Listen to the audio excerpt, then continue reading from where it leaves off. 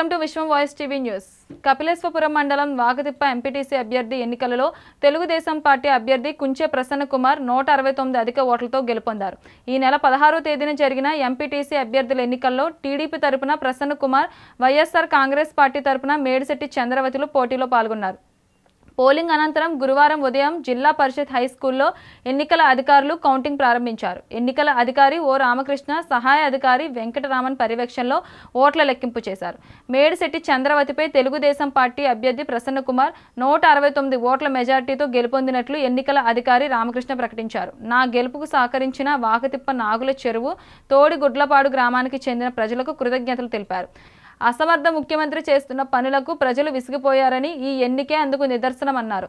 అనంతరం మిఠాయిలు పంపిణీ చేసి ఆనందం వ్యక్తం చేశారు. పెద్ద వంతెన వద్దనున్న ఎన్టీఆర్ విగ్రహానికి పూలమాలలు వేసి నివాళులర్పించారు ఈ కార్యక్రమంలో గ్రామ సర్పంచ్ శాఖ శ్రీనివాస్ టీడీపీ నాయకులు పువ్వల చిట్టిబాబు అల్లూరి రామకృష్ణ చౌదరి నామాల బుజ్జయ్య మేక సత్యబాబు తదితరులు పాల్గొన్నారు.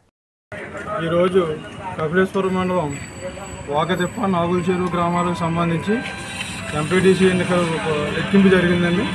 ఈ ఎన్నికల్లో తెలుగుదేశం అభ్యర్థి నిత్య ప్రస్తుతమైన నేను నూట నాలుగు తొమ్మిది ఓట్ల మెజార్టీతో వాడితో నాగుల చేరు గ్రామ ప్రజలందరూ నన్ను గెలిపించారండి. అందరికీ నా శుభాకాంక్షలు. రెండు గ్రామాల ప్రజలకి తోడు అదే తోడుగుట్లపాడు గ్రామ ప్రజలకి మొత్తం మూడు గ్రామాల ప్రజలకి నా శుభాకాంక్షలు. ధన్యవాదాలు. తెలియజేసుకుంటున్నాను. ఈరోజు ఈ రాష్ట్రంలో జరిగే అరాచక పాలనకే నిదర్శనమే ఈ నా ఘన విజయం. ఈ ఘన ఈ ఘన విజయాన్ని నిదర్శనంగా రేపు రాబోయే రెండు వేల ఇరవై నాలుగు ఎన్నికలు కూడా ఇదే పునరావృతం పునరావృతం కాబోతుంది. ముఖ్యంగా రావాలి జగన్ రావాలి జగన్ అన్న జనమే ఇప్పుడు పోవాలి జగన్ అనే విధంగా ఈ తీర్పు ఉందండి. ఈ రోజుల్లో ఒక ఎన్నికల్లో పాల్గొవాలంటే డబ్బు మద్యం అంతులేని ప్రవాహంలో ఉండాలి.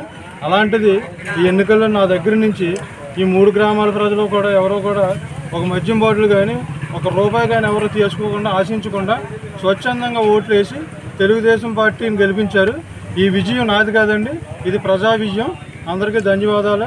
రాబోయే రోజుల్లో ఇంకా గుణపాఠం ఈ అసమర్థ ముఖ్యమంత్రి అవగాహన లేని ముఖ్యమంత్రిని ఈ జనం అందరూ ఇంటికి పంపించి ఈ రాష్ట్రాన్ని గాలిలో పెట్టే మనం చంద్రబాబు నాయుడు గారిని మరోసారి ముఖ్యమంత్రి పీఠం ఎక్కిస్తేనే కానీ ఈ రాష్ట్రానికి భవిష్యత్తు లేదండి దండం పెట్టి ఈ రాష్ట్ర ప్రజలందరికీ విజ్ఞప్తి చేస్తూ ఉన్నాను ఈ ఈ ఈ ఈ అసమర్థ ముఖ్యమంత్రి ఈ మూర్ఖ ముఖ్యమంత్రి పోతేనే కానీ ఈ రాష్ట్రం బాగుపడదని చెప్పి నేను తెలియజేసుకుంటా ఉన్నాను అందరికీ నమస్కారం ధన్యవాదాలు